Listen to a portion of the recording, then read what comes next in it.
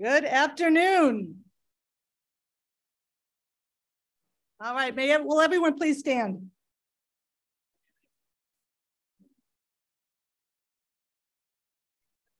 Good afternoon and welcome to the meeting of Rotary Club of Seattle number four. Named for being the fourth oldest club in the world and also one of the largest. I'm Beth Knox, your club president. As we convene today, we respectfully acknowledge. All right, figuring that out there.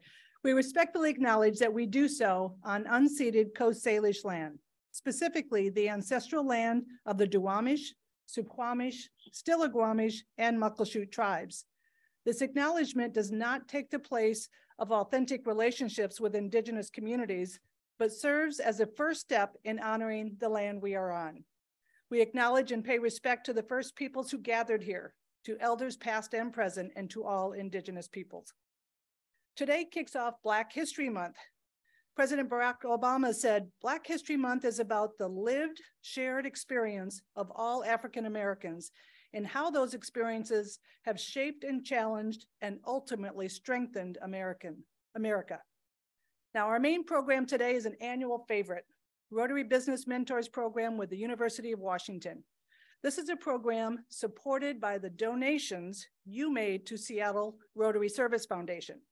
Now, I recently read that we not only benefit from having a mentor, but we could actually use five kinds of mentors. Number one, the master of craft to help you be the best in your field, the person who has wisdom or experience and can function as your personal Jedi master. Number two, the champion of your cause, someone who will talk you up to others and who has your back. Number three, the co pilot, the colleague at work who can talk you through projects or listen to you vent over coffee. Number four, the anchor, the colleague or friend or family member who is your confidant and sounding board when you hit a speed bump or are going through uncertain times. This person keeps your overall best interests in mind when you're setting priorities. And number five, the reverse mentor. We often conjure up the image of an older person or teacher when we say mentor, but the counterpoint is also important. Learn from the people you're mentoring. Ask for their feedback on your leadership style or engage with them on current events and trends to maintain a fresh perspective. Now, here at Seattle 4 Rotary, we enjoy music, singing, and words of inspiration to kick off our meeting. Leading our music committee today is, is Linda Ruff, who is joined by Bill Center. And following the music, I invite Jaime Mendez to share our inspiration for the day. Linda and Bill.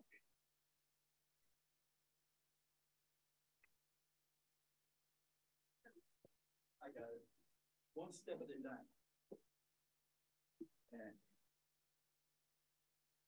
You need mentors even when you're old, I'll tell you that. No matter what stage of life you're going into, you've never been there before, and you can benefit from the wisdom of those who've gone before and done it well. And we've been lucky to have a lot of people like that in this club for many years. And I thank you all. Good news. We're singing a song everybody knows. Okay. Uh, bad news no piano, no guitar. If this was an aerial act, we'd say we're working without a net. But uh, since it's musical, we'll say we're a cappella. But to inspire you with my mediocre voice, I'm going to sing solo the introduction, and you'll know when to come in as we sing God Bless America.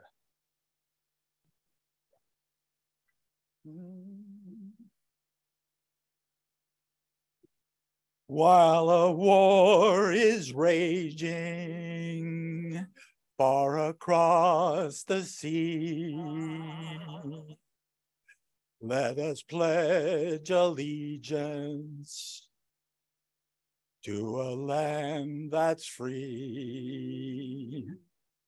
Let us all be grateful for a land so fair as we raise our voices in a solemn prayer. God bless America. Land that I love, stand beside her and guide her through the night with the light from above. From the mountains to the prairie, to the oceans white with foam. God bless America, my home, sweet home. God bless America, my home, sweet home.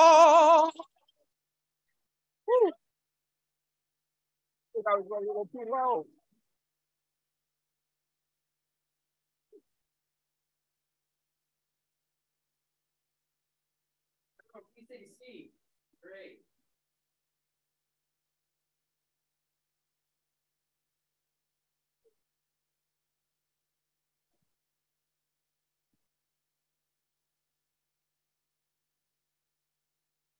Good afternoon, everyone. My name is Jaime. It's always an honor and a great pleasure to share the invocation. Uh, I really appreciate it greatly. So I'm gonna start this off with a quote, and um, it goes, "Pain of choice is power. Pain of circumstance is suffering. Pain is mandatory in life. Suffering is optional if you choose to stay." An easy way this quote can um, relates to me and everyone here is that we had an upcoming assignment whether it's a test, business proposal, or presentation, there will be pain to study or prepare properly.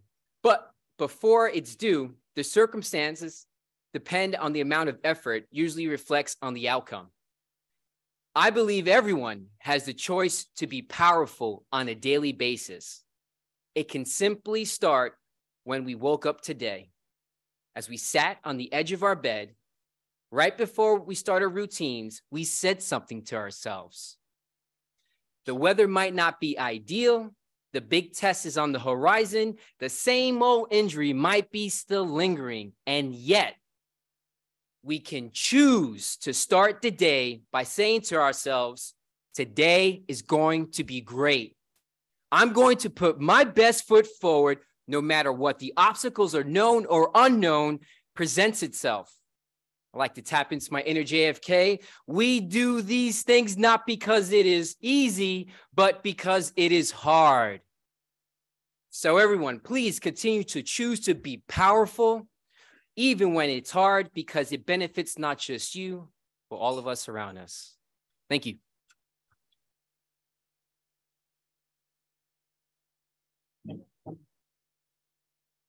Oh, thank you, Jaime, and thank you, Linda and Bill. That was amazing.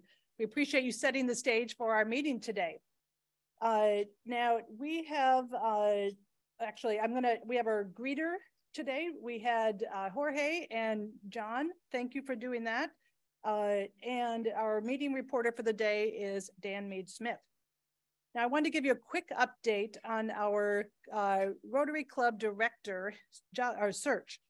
So uh, last week, the job posting closed for the position, and we ended up with a sizable group of applicants. I'm very excited about that.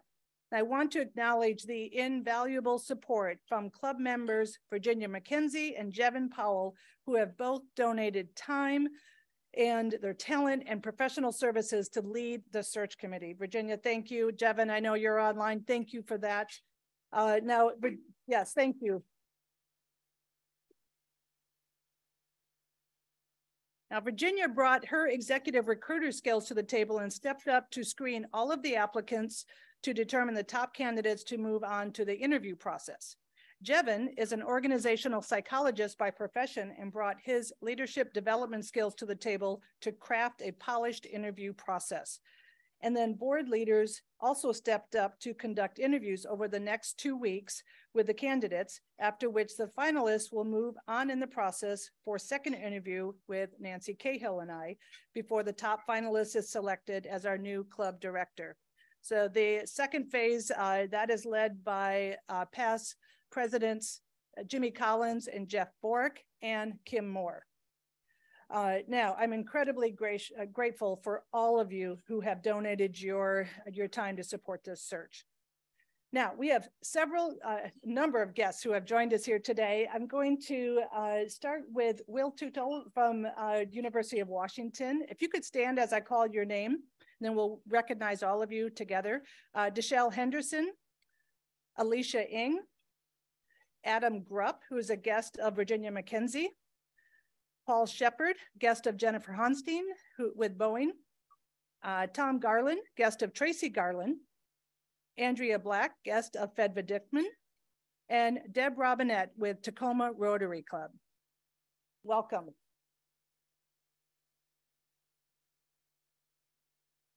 I want, I have one other group that I want to recognize. Uh, there's a lot, so I'm just going to ask you all to stand. I'd like to just recognize all of the University of Washington students who are here attending with us. Can you all stand as well?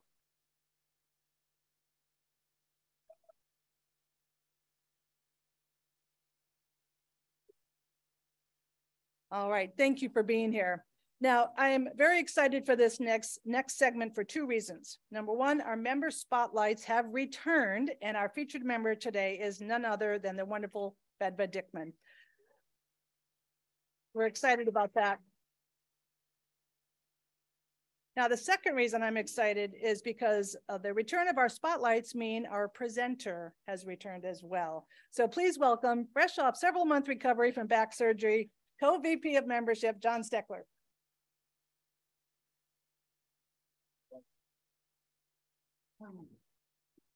Well, fellow Rotarians, honored guests, uh, yes, as, as mentioned, as, after an unfortunate and unavoidable absence on my part, I'm now back, and uh, I am so excited to present you with this month's Rotary Spotlight member.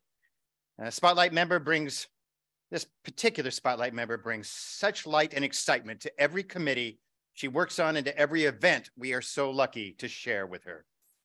It's true. Rotary Spotlight member for the month of February is none other than Fedva Dickman, classification real estate retired. Now, she's what we call a champion member. She's been a member of Seattle Rotary for over 10 years. In fact, she's been a member of Seattle Rotary for over 20 years, and she's been a Rotarian for over 33 years. Now, Fedva's life has been filled with an international feel since her birth in Mardin, Turkey. Look at that little cutie pie. Family has always played a strong role in Fedva's life. She has two brothers and one sister, and today, one of her brothers, and one of her sisters is here with uh, with us today. We welcome you. We thank you for being here to honor Fedva. Thank you. Now, Fedva's mother was a homemaker. Her father, oh, he held many jobs, such as a translator because he spoke five languages. He was a photographer. He had a business changing gauges of gold and silver for jewelers. And he was even a tour guide. Let's see if I can. Fedva's dad was an inspirational and powerful influence in her life. And although born in Turkey, Fedva's family had no Muslim blood in them. Uh, as American missionaries came to Turkey and converted her grandfather to a Protestant minister for 40 years. Now, here's a fun fact Fedva's grandfather made sure to give all of his children names that you couldn't tell if they were Christian or Muslim so as to avoid any discrimination. Fedva's grandfather had six children, five boys and one daughter, and being a big believer in the importance of education, he sent all of his children outside of the country for college thanks to help from the Americans. The only son not to go to America was Fedva's dad, who stayed behind to take care of the grandparents and his own family. Again, inspiring Fedva and becoming a role model in sacrifice and work ethic. One uncle was a very successful in Tulsa in the oil business. He invited the grandfather and Fedva's dad to come over and uh, visit them in 1953 with the intent of moving the entire family to America. But unfortunately, it didn't work out. And The entire family had to move from Istanbul to Mardin. Now, the family only spoke Arabic at home, not a word of Turkish. So when Fedva started to attend school, she was unable to communicate until she learned the Turkish language. She completed her entire education, including all the way through the university. Now, there are only three universities in Istanbul. And Fedva applied to the University of Istanbul. She was interested in becoming a chemist. Now, as you expect, it's pretty darn competitive when you got 100,000 students applying for 10,000 applications. And luckily, Fedva was one of those 10,000 students accepted. And during her first year in college, Fedva was, well, she was what they referred to in Istanbul as, um, I think they call it a, a, a party animal. Yeah. See, she had a drinking problem comprised of too much Turkish coffee and a love of American movies. That's a deadly combination. Her sister told her she better clean up her act if she ever wanted to get a college degree and move to America. Well, Fedva did clean up her act. She graduated with a degree in geography and a minor in sociology. Now, after college, Fedva played for a year, which a lot of people do, but what she really wanted was to come to America. In 1970, she applied and got accepted at the University of Washington for a master's in geography and environmental science. Now, her English wasn't very good, so her advisor assigned her to a Yugoslavian professor. And the two of them did not get along as a Yugoslavian professor was not a fan of Turks and or female students. Fedva realized that discrimination crosses all borders and can reach across the sea, even to America. She completed her degree and followed her sister to the University of Wisconsin, where she did research in environmental studies. And in 1976, she followed her sister again when she was accepted to a faculty position at the University of Washington in Seattle. Now, it's 1976. Fedva desperately needs to decide what she's going to do with the rest of her life. So after reviewing her skills and taking count of the marketing opportunities, Fedva decided to become a travel agent. She completed travel school. She went to work at the University Travel. Next, she went to work at a small Black-owned travel agency that focused on the Black consumer market in Seattle. And once again, Fedva came face to face with the challenge of discrimination. Fedva had no problem dealing with the black market, but the, the black market had a problem working with a funny little white woman with a weird accent. So Fedva had to go. Well, next she went to work for Hermes Travel Agency. At first, she thought the name of the agency was Herpes Travel, but then she realized that was just a language barrier. Slowly, Fedva was building a substantial consumer base, thanks in large part to her contacts at the University of Washington. And finally, in 1980, she was making enough money to open her own travel agency and and Dickman Travel was created. The agency grew and grew as Fedva had convinced her brother to move in from his job as an electrical engineer at Boeing to take control of the wholesale travel segment. She took control of the retail division. At the agency's height, she employed over 70 people, and Fedva was living the high life, which included such perks as Oop, got a little problem here. Come back. There's a great story with the little friend there in the white. Anyway, uh, such perks as playing volleyball and sharing a cocktail with James Bond's Pierce Brosnan, astronaut Buzz Aldrin, Ted Danson from Cheers, and many, many other celebrities. But then came the expansion of the internet and the tragic 9 11 attacks, and two major influences on the demise of the travel agent. And finally, in 2002, Dickman Travel had to close its doors. Now, at the same time, Fedva was hit by a taxi and suffered numerous complications. It was a real low point in her life. But Fedva, Fedva's a fighter and a survivor. Influenced by her family, she reinvented herself in the real estate industry and had a long and successful career with Windermere Real Estate. Fedva joined Emerald City Rotary in 1989 uh, and then left in 2002 due to her injury and loss of income. She joined Seattle Rotary in 2008, and all in, she's been a Rotarian, as I mentioned earlier, for over 33 years. Her perfect attendance in Seattle Rotary is a testament to how special this club is to her. In short, Fedva loves Seattle Rotary. She loves the people. They are her friends. And she's always felt accepted at Rotary. Having experienced some discrimination in her life, this acceptance is something that Fedva values very highly and she has served on numerous committees, and she was also the Commodore of the Seattle Rotary Mariners. She, uh, she had a little trouble finding the right size hat, but she did a great job. How you doing, Sailor? New in town? Okay. Uh, and she also has a long and impressive 41 year career with the Washington Athletic Club, where she met her good friend, Doug Sato. Look at that little picture of Doug Sato when he was a young man. Look at him. Look at Doug. Dang nabbit boy. You are you are a magnet. Wow. She served on their board for two terms, and in addition to service, serving on numerous commissions. Now, one of her greatest passions is sailing. She loves being on the water. She also loves yoga, bicycling. She's ridden the Seattle to Portland three times, as well as numerous other rides and many, many 10K runs as long as they offer free t-shirts. Now, of course, she still has her love of travel. She enjoys traveling with her friends. And hopefully this spring, Fedva plans to return to her birthplace in Turkey. Now, although we're all really happy that she could find her way home, we're so glad she found her way to us. Ladies and gentlemen, my honor and pleasure to introduce our Rotary Spotlight Member of the Month for February 2023, Fedva Dickman, if you would stand up, classification real estate retired.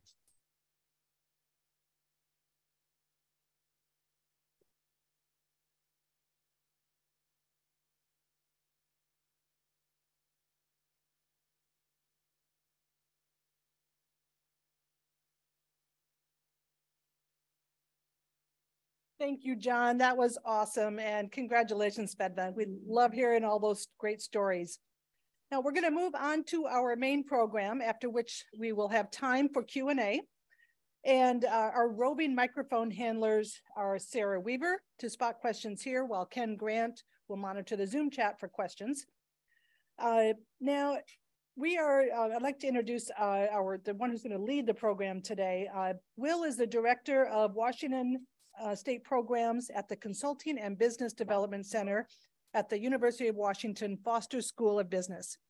Will has two decades of experience in economic development, and through the center, they've developed a model that is being replicated in 13 cities across the country. This partnership with Rotary 4 has served as a foundation for how the Foster School supports our students and the small business community. The partnership between the Consulting and Business Development Center and Rotary 4 has helped create more than $315 million in new revenues and 250,000 new jobs in underserved communities. Please welcome Will Tootle.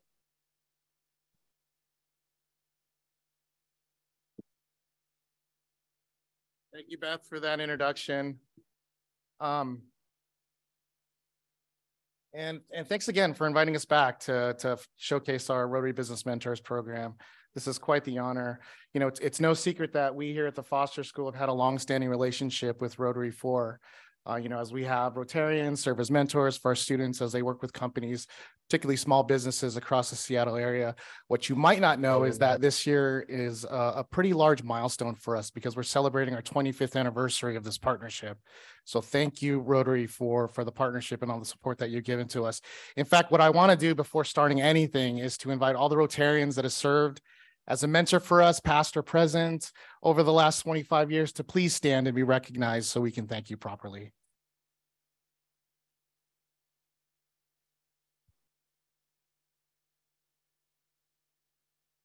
Thank you, Rotarians. Over the years, we've had hundreds of you serve, and we really support, uh, we really thank you for your support and dedication. Um, the other, the other thing I want to do is I want to thank our co-chairs. So um, starting with Terry Van Nostrand, who's actually joining me today. So you're going to hear from Terry in a second, but Terry is one of our co-chairs. He's been a, a long-standing co-chair. Terry, um, more than a decade at least, maybe 15 consecutive years. Thank you for your leadership. Thank you. And then also Paul Sai. Paul, please stand. Paul's our other co-chair today. This is uh, Paul's first year as a, as our co-chair, but he served as a Rota Rotary mentor for us over the last five years. So thank you both for your leadership. Thank you for your support and dedication. Really appreciate it. You know, just uh, for those who are unfamiliar, I want to give a quick overview of what this program is like and how it serves our community. Essentially, what we do through our Rotary Business Mentors program is we have student service consultants for, for small businesses across the greater Seattle area. We typically work with companies that are in underserved communities. So that typically includes minority owned businesses, women owned firms, veteran owned companies and in companies in sort of inner city, economically distressed areas. And as Beth mentioned, because of the work that we have done, we've helped these businesses generate more than $315 million in new revenues and 250,000 jobs across the Seattle area. So quite the impact, very tangible. And again, we could not have done this without uh, the support of Rotary. Uh, this year, we're working with 16 firms. We're going to hear from one of those businesses today. Um, we've we have about 80 or so students working with these companies, and we have about 60 or so professional mentors helping our students through these projects, about a quarter of which are from Seattle Rotary. And as part of our mission, obviously, we want to provide an enhanced learning experience for our students. You've met them earlier today. But I think this program really exemplifies just how much we do that. And to further showcase this, I've asked to show a video that talks about our students' impact. So please.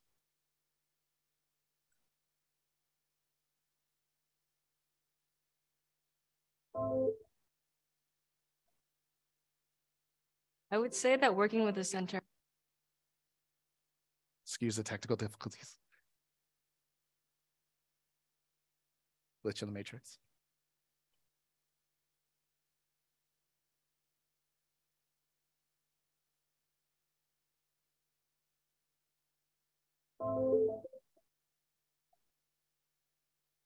I would say that working with the center has given me a lot more confidence in my professional skills. And not only that, but it also opened, opened my eyes to uh, a possibility of a career um, in uh, consulting. having that opportunity to work with the technology consulting program was super helpful getting to research in deep into the new technologies really learning how to manage client expectations and actually just how to work with a client in general i think that there's no chance in the classroom that you're going to be able to get this level of experience. My experience in the Board Fellows program really taught me that uh, participating as a board member is an opportunity to really influence the strategy and apply everything that you know about business to tackling um, difficult challenges that organizations face. My client was a um, nonprofit organization uh, called Helping Link and they worked with um, the Vietnamese American community. I get the opportunity to actually work with like real world clients. I get to do all this research that I would have never done in any of my business classes. So it was awesome getting to kind of become a more of an expert in that field. There's no chance that you're going to be able to go to a classroom and get this level of something that you can put on your resume, something that you can talk about in interviews something that's going to be like real world experience for you. Participating in experiential opportunities at the center has given me a lot of practice in being able to do that and feeling confident. So don't get me wrong, I had a great experience um, in the classroom at Foster. I would say um, the experiential opportunities made the experience so much richer. I would say that these opportunities have made the biggest impact on my college career. Without these opportunities, I don't think that I ever would have been able to be in the position that I am to get the job that I'm getting. It's one thing to like learn theory, but it's very different to be able to apply it. I'm a hands-on learner, and I truly believe that there are some uh, some insights and some some lessons that you really can't learn unless you're out there doing the job and uh, experiencing it for yourself. So 25 years is quite the accomplishment in terms of our partnership with Rotary. So on, on, on behalf of the Foster School of Business, the Consulting and Business Development Center, all of our students and our small business community, we just want to say thank you to Rotary for, for the all, all the support that you've given us over that time. So thank you again. Um, it's my pleasure now to introduce our, our panelists who are with us today. First, we have on my far left here, uh, Deshelle Henderson. So Deshelle is the CEO of Citigroup Solutions. Uh, Citigroup Solutions is a Seattle-based certified DBE and MBE. Uh, they provide post-construction cleaning, dump trucking, hauling, street sweeping, snow plowing, and other construction support needs. Deshelle, thank you for being here. If anybody's in construction and they need post-construction cleanup, please reach out to Deshelle before you leave today. Uh, next, we have Alicia Ng. Alicia is a student here at the Foster School of Business. She's a junior, uh, double majoring in business administration and international studies. Last year, she consults she consulted AD and Sons Transportation Group, where her team formulated recommendations to help the company leverage their certifications as a minority-owned and veteran-owned business uh, to secure government contracts and finance acquisition for physical assets. So, Alicia, thank you for being here. And then finally, as I mentioned, we have Terry Van Nostrand. Uh, Terry is the Executive Vice President and General Manager of Level Capital LLC. Level Capital provides vertical financing to builders and investors for the construction of pre-sold or spec single-family homes, townhomes, and small multifamily projects.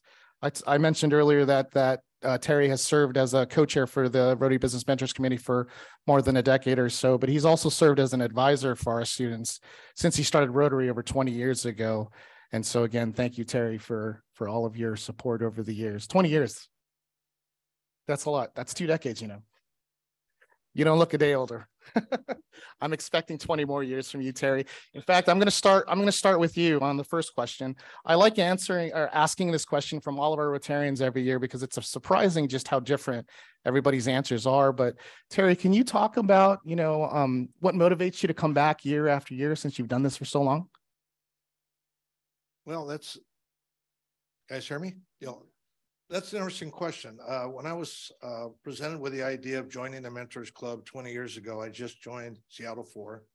I was a member of other clubs and I jumped at the idea because I've always had the philosophy of giving back. And as a Husky alum, I thought, what a, what a great opportunity to give back. So, uh, but I was going to mention, you don't have to be a Husky alum to, to really enjoy what the Mentors program presented. That's right. Well, there was a jab in there about something south of the border, but I wasn't going to go there. Um, well, thank you, thank you, Terry, for sharing that, and and clearly we can see that your motivation hasn't waned, and we expect more from you in the future. So, uh, Deshelle, um, you have a great story to tell on why you started your company as an African American owned business, as a women owned business in the construction industry. Can you share your company's journey and how this program sort of helped shape your growth strategy? Yeah, so really quickly, I'm glad you guys opened up with music. I love that's my that, my passion was to be a singer, okay? But that wasn't paying the bills, so I appreciate that. Um, so how it started, you know, I had my experience in corporate America, you know, administrative customer service background. Um, and my husband was just starting a street sweeping and dump trucking company. And so I kind of stepped in, you know, he was doing private jobs here and there. I said, you know what, with my background, I feel like I can take us to the next level um, on government projects, WashDOT projects. So with no background at all, I did my research. You know, I, I made connections in uh, the construction industry with prime contractors and eventually got us from two trucks to 10 trucks. Um, but I did not want to be the face of his company. um, you know, I was pretty much doing all the administrative tasks. You know, I, I with my connections in the construction industry, I said, you know what, I want to do something for myself. Um, I saw that there weren't very many African American women at all um, on any of the sites that I visited, um, any of the rooms that I were, you know, that I was in, and so I figured, let me tap into a scope that's not saturated with so much competition. So it was post construction cleaning, and um, again, no experience. I, I leaned on YouTube, um, you know, just learning as much as I could, going to different programs, learning about bonding and insurance and all the requirements. And I would always go to networking events um, and, and seek out mentors. And so finally, I, I met um, who's now the vice president of um, Hensel Phelps, Shannon Gustine, uh, in 2019, she gave me an opportunity. She says, you know what, we'll find you the right opportunity.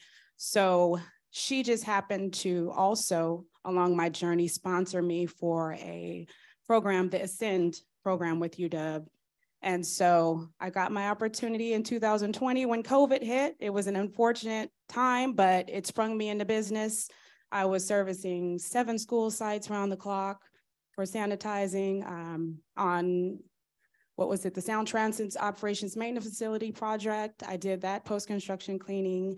And once I got into the UW system, you know, I had no college background. I was just, you know, a, a girl trying to make it. And so I noticed that there were so many other programs um, within the UW's Foster School of Business. So I took part in the consulting program because I wanted to keep my employees active because with post construction, it's just project based. And I said, you know, I have to grow my business. I have to keep them working. They're loyal to me. So I want to give them something to stick with. And um, with this program, it just, it was life changing because I said, you know, I, am leaning on you students, you kids, and you advisors. Uh, Jevin was one of my advisors. Um, so they really helped me map out my business plan with um, going after janitorial work which since the program, I will now be doing the American Express Lounge at SeaTac Airport. Um, that's just one of my projects. So it's been a success with this program. So thankful for it. That's wonderful to hear, Deshelle. it's ama- amazing what kind of growth you've experienced in the short amount of time you've been in business. I mean, and and going through a difficult time, as we all know, over the last couple of years. Congratulations, and know that this is just the beginning. We're going to be with you all, all, all throughout the time. Um, Alicia, I'm happy that you're here to share your experience because, as I talked about, one of the missions of our center is to help advance student careers after they graduate. So, could you kind of talk about what your experience was like and maybe how this helped you improve your professional growth? Yeah, I mean, just starting off from a personal standpoint, um, I'm a daughter of immigrants and a first generation college student. And so having the opportunity to work with a Black owned, veteran owned, and especially a family owned business was everything to me. It meant everything to my team. Um, so that in itself was one of the biggest reasons why I chose to join the program in the first place and was one of the most rewarding parts. Um, with that as well, I think from a professional standpoint, um, there's a, a, really rare opportunity with this program to um, kind of start and finish a, a, program or a, a, project from the beginning of a quarter to the end of a quarter. Um, that's not something that we get to do very often in business school because, uh, especially with quarters, you know, it, it's so fast paced that you're moving on from one thing to the next. So being able to work with the same group of students, the same group of mentors, and a consistent client from start to finish um, was a huge learning opportunity for me. Um, and it's definitely something that's had a huge impact on me um, after finishing the program, going through the rest of my college education, and I think beyond after graduation as well. Great. Could you talk a little bit more about the program that you did and maybe what role did your mentors play in helping you develop recommendations? Yeah, so I was part of the 445 class last winter. Um, like Will mentioned, my client was called AD and Sons. They do transportation logistics um, and they bid on government contracts and things like that. So um, understandably, that whole industry was completely foreign to me and my team before we started the project. And so um, there's a huge learning curve for us in the very beginning. And I think that's where we leaned on our mentors and kind of uh, the support from the community as well. Um, to say that our project was crowdfunded is definitely an understatement. Uh, we definitely sourced help and expertise from a number of um, businesses and uh, nonprofit partners that the center works with. And so um, that was pretty invaluable to the success of our project. Um, from from the mentorship side as well, um, I think there's one example that I can give that kind of highlights the impact that our mentors had on us. So one of our mentors, his name is David. Um, he, uh, during that project, he actually went on a three week vacation with his family to Costa Rica and he could have easily taken that time off from the project you know be with his family and take the vacation he deserved Instead, what he did was uh, sat on his porch, beachside in Costa Rica, and zoomed into every one of our meetings. So he was fully committed to our project and the people that he was working with. Um, and we really couldn't thank him enough for that. So um, the impact that he had and our mentors had on our project was um, pretty invaluable to say the least.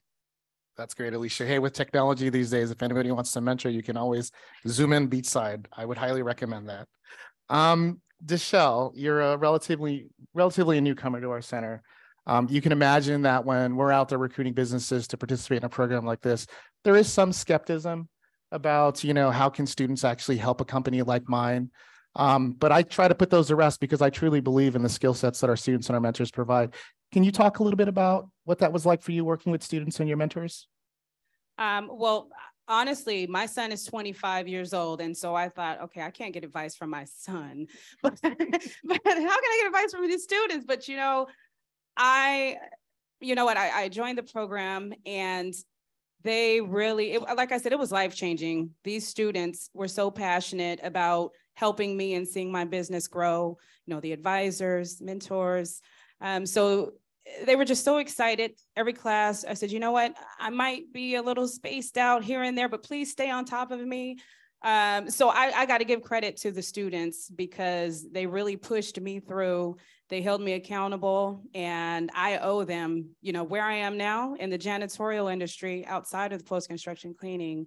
It was these students who really buckled down and assisted me and so yeah that's Definitely great. don't be skeptical. these these students can assist for sure. Absolutely, absolutely. And, and Terry, we have time for more questions, so you're gonna get the last one. Um, can you, can, you know, obviously this program, a program like this is a huge learning experience for our clients and our students. But what about business mentors? What are some of the things that you've sort of learned by participating in a program like this over the years? Well, thanks, Will. The interesting thing is, uh, Bill Marshall and I were co-chairs for many, many years. Okay. Just switch, just switch, it was hers. That better? Yes, you. Sorry, guys. So Bill Marshall and I were co-chairs for many years uh, together, and we also worked uh, with many clients together as well. And what we came away from, we used to talk about how every year the student system seemed to get brighter and brighter. But what what I came away from why I continue to go back is the fact that irrespective of all the issues in the world, we, um, the students, no matter what their culture for the team seem to work well together. And we always used to emphasize teamwork. And to, I, I can't even think of one time that they did the whole, this whole teamwork aspect didn't get, get epitomized. And, uh, we really, that's what I came away from. No, absolutely. Thank you, Terry. So before I, I hand this over to Ken for questions from the audience, I want to say thank you all for joining this panel. We really, really appreciate and um and learned a lot from your stories. It's really inspiring and and just know that we're here to continue the fight to help you grow. So thanks again. Ken, over to you.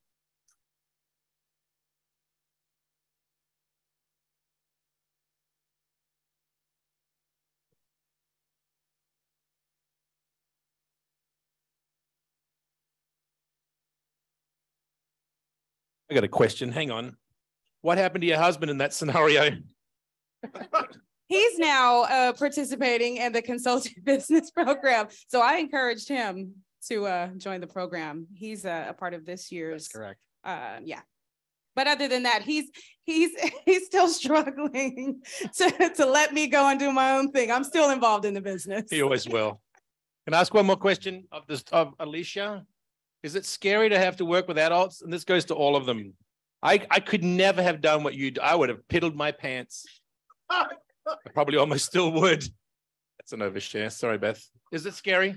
I mean, yeah, I think scary is definitely an understatement. Um, it's interesting because I think the most rewarding and the most scary part of doing an experience like this are the exact same thing. Um, you, it's you're working with a real business, and these are real people's lives and livelihoods and careers, and so that's a huge opportunity to have an impact, especially as just a group of undergraduate students. But at the same time, having that responsibility, especially knowing that many of the business owners are coming from underserved backgrounds, um, I, I, think put a lot of pressure on us um, as a team. But I think that pressure really motivated us to want to put forward the best product product forward. So um, it was definitely a positive source of motivation. Oh, well, I've got a. Oh, I was just going to add that for the students, uh, the business owners were equally as nervous. So just know that. Okay. Well, I have a question basically for Alicia and for you too, Will. Um, knowing that the university operates on a quarter system, you know, well, your businesses are not on a quarter system. So is there a flexibility built into the classes that you've been taking so that you can expand the time frame beyond the 10 weeks that you're dealing with in a quarter? Do you mean um, kind of having a longer relationship with the same client or just That's- applying the same skills? That's right. No, continuing the relationship with the client um, and making sure that you can continue to get credit beyond one quarter, there needs to be that type of flexibility, a two quarter class, a year class. We do that in the law school all the time. Do you do it in the business school? Sure. Uh, not from my personal experience, but I know some of my classmates and other students who've done the programs have um, found internships with the companies that they in, that they uh, did the program with. Um, from my end, not necessarily with the same client or the same program, but I had such a positive experience with the class over the winter that I actually came back as an intern over the summer, worked with three incredible minority-owned, women-owned businesses, um, and I'm now working as an assistant with the center. And so once you're kind of in the system, the staff really like to make a joke that you're always kind of part the family. Um, so I've been working with the, the CBDC since starting that program. Um, so there's definitely more opportunities to work not only with the center with a more um, extended period of time, but for some students, there is an opportunity to work with the client as well. And, and if I can add to that, John, so part of the beauty with working with Seattle Rotary is that our Rotarians not only help our students through that, that winter quarter process, but they actually meet with the businesses during fall to help sort of set up what that project is going to be during winter quarter. And then once the students develop their final recommendations, the mentors actually stay on with the clients during the spring quarter to help them implement those recommendations. And we highly encourage our clients to hire their students to help them implement that because who better to implement them than the ones that actually develop the recommendations, right? And we see a lot of these students actually maybe not get credit, but they do get cash, which is probably better from their perspective. So that continuation definitely happens. So, all right. I think that is it for us. Thanks again, everyone, for giving us the time. I appreciate it. And let's go for another 25 years. Thank you. Yeah.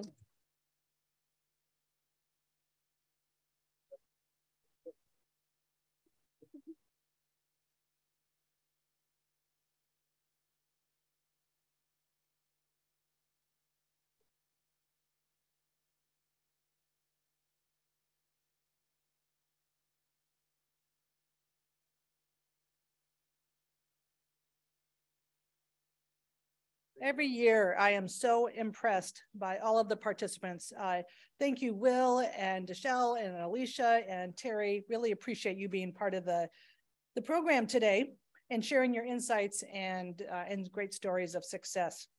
Now, in recognition of the generosity of your time, Will, and all of you, our club has contributed to Harvest Against Hunger, a nonprofit agency providing healthy meal components to food banks. And we've given 600 servings of healthy produce in your name. So thank you. Sarah and Ken,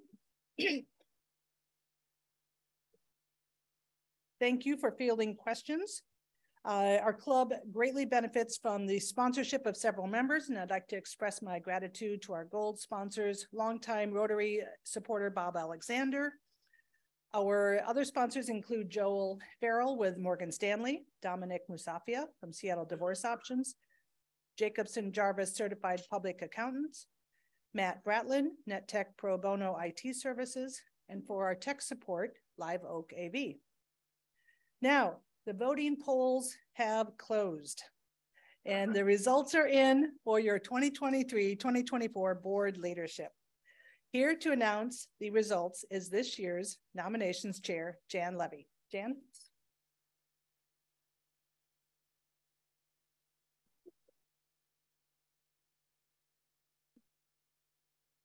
Thank you, President Beth. Um, it has been a privilege to do this work on behalf of your governance committee. And joining me in the effort, if if you're here, we're Nancy Cahill. Uh, please stand. Jimmy Collins, Sue McNabb, uh, Nancy Osborne, I don't think is here. Jeff Parker, are you here? I haven't seen you. Dave Siebert and Mark Wright. So please join me in thanking our nominating committee. As you know, the bylaws call for the governance committee to present the slate of candidates and club officer for club officers, at-large board members, foundation trustees, uh, to all of you in writing two weeks prior to our annual meeting. And in case you didn't know it, this is our annual meeting.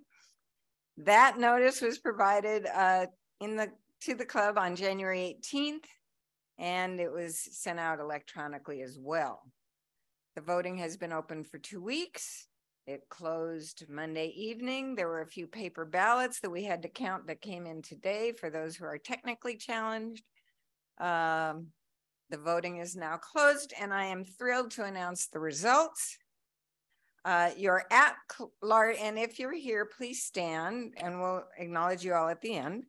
Uh, you're at large club board members who have agreed to serve three year terms Tabitha Claus, Matt, Mike Hatzenbeller, Jennifer Honstein, Liz Powell, and Nyasha Tundawani. Just hang on, everybody. Uh, Rotary Service Foundation trustees elected to three-year terms, Eric Christensen, Tiffany Lewis, Sue McNabb, Francis Walker, stand up, Sue, and Lori Walker. Lori, I know you're here. I saw you. There you are. Okay. Club officers, President Nancy Cahill, immediate past president Beth Knox. Mary Johnstone will be the board chair. Vice President for Programs, John Steckler. Vice President for Membership Recruitment, Nick Anderson. Vice President for Membership Retention, Stephen Morse. Vice President for Service, Jaime Mendez. Secretary, Marcia Mutisi. Treasurer Jeff Parker, Sergeant at Arms Jen Gladish with the great shoes. Check out her shoes, you guys. And once again, I'm so thrilled your chair, president-elect is John Bridge. Please thank all of these folks for their willingness to serve.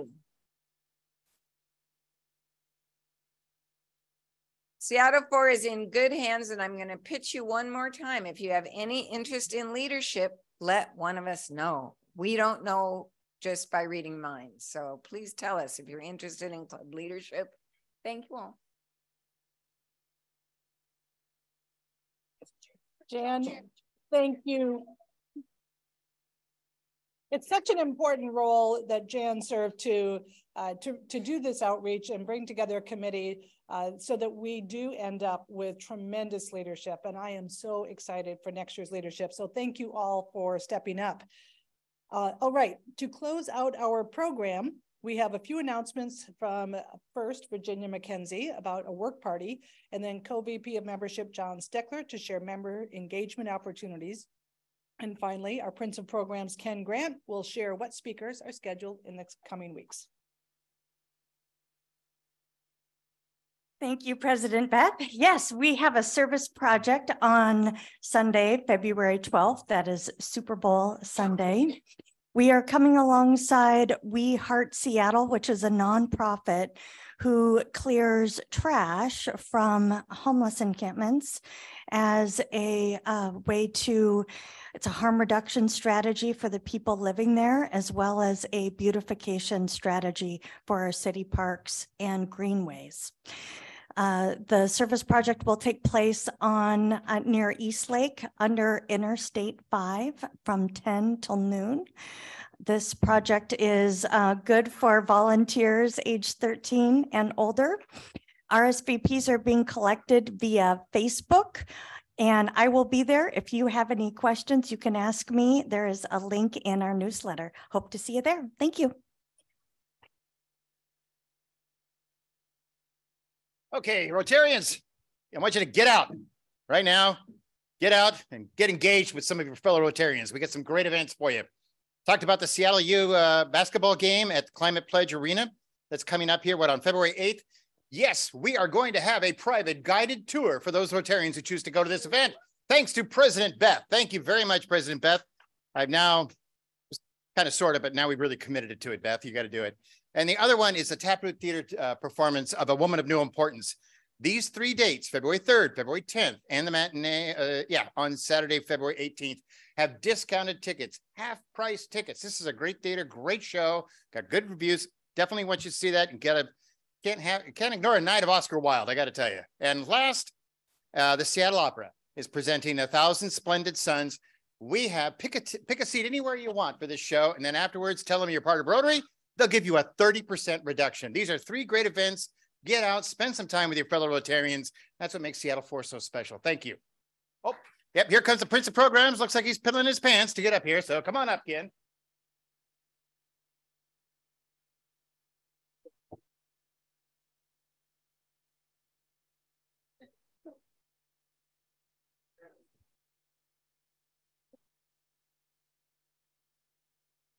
Really?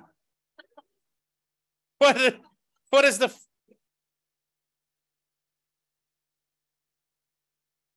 Swear to God. Five more months, people, just five more stinking months. Uh, and I'm going to go with I bet you there's not a club in the world that would allow somebody to use the word fiddle, except for this club. That makes this very cool. All right. So when I was a little kid, I was used to go to the Y to uh, work out Anybody else been influenced? Mark, stop laughing. Anybody else been influenced in, the, in their lives by the Y? Yeah, that's true. So next week we've got the head of the Y coming along, and I'm going to tell her my stories because I used to get so nervous. Same, that's funny. There's a theme going on. Uh, we're also going to hear from our very own education committee next week. Also, the week after that is the head of uh, Columbia Hospitality uh, with a conversation with our very own Mark Wright. I'm looking forward to that. That's going to be very cool. Uh, David Babanik is not here. Uh, he's going to be speaking about um, his huge, big upcoming event, uh, Hearts and Wine. I like this little monitor. Anybody else? Anything else coming up? Oh, our very own Linda Black, uh, Linda Thompson Black is going to have a chat with us about kids getting into college, which doesn't sound as easy as it probably should. Was that a riddle just then? And oh, that was my boat. Oh, and then back, we're going to have a conversation with uh, the Seattle Rotary Mariners. And then the week after that, am I just making you guys go crazy back there? So you know, you know, uh, Geraldine Brousseau.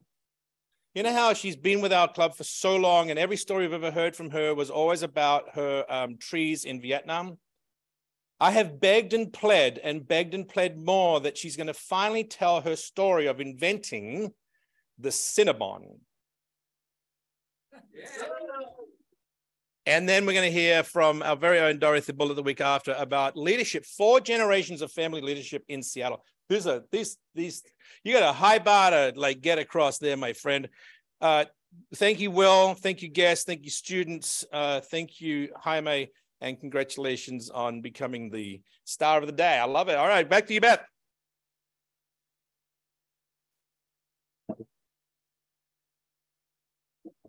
Thank you, Virginia, John, and Prince. Now, for our guest today, my day job is leading the Seattle Sports Commission. So at the end of each of our Rotary meetings, I like to wrap up with a few highlights from our Seattle sports teams. Now, as we all know, where some of our sports teams are, are uh, in off season, but uh, I want to share a few things because sports are a great conversation topic and uh, it's it's nice to have a few fun facts to take to the water cooler or uh, dinner dinner table this week. So last Friday, now I know Will and all of our students know this. last Friday, the University of Washington men's track coach, coach orchestrated something very special. He brought together eight runners for an invitational at Dempsey Indoor Center, where all eight of them ran the mile in under four minutes. Now, it's been nearly 70 years since Roger Bannister broke this barrier, and only 16 Husky runners previously had run this race in under four minutes. So to have eight racers do so in one race with times that shot to the top of the college rankings is almost unimaginable. So pretty impressive. Excuse me. Okay, in less than two weeks, the Kansas City Chiefs and Philadelphia Eagles will play in Super Bowl 57. Now, while our Seahawks won't be there, five players from area universities in our own area will be playing in the, the Super Bowl. Three are from Washington State University, one from Washington, and another from Idaho. Now, the Seattle Kraken are uh, they enter the All Star break in first place in the Pacific Division. We're very excited about that. Uh, rookie Matty Beniers was chosen to play in the All-Star game, but unfortunately will miss it after an injury during the Kraken's win over Vancouver last week. And the Sounders will make history on Saturday as the first MLS team in the FIFA Club World Cup in Morocco. Local fans can cheer on the on the Rave Green at the Seattle Armory at 9 a.m. this Saturday. And the quote I'll leave you with today is from women's, women's soccer legend Mia Hamm. She said, My coach said I run like a girl. And I said, if he ran a little faster, he could too. We are adjourned.